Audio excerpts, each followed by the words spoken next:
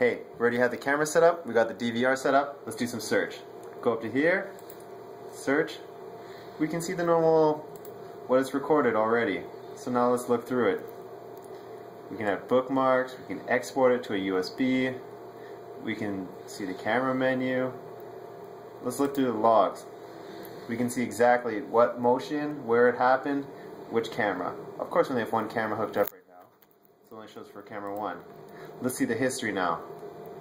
We start playing, see me walk around. As you remember before, I set up just half the screen to record, so if anything happened in this quadrant, it wouldn't show up. You can Easily fast forward, go back. Nothing too special happened. Even through here, we can back up, zoom in. Pretty fun to play around with.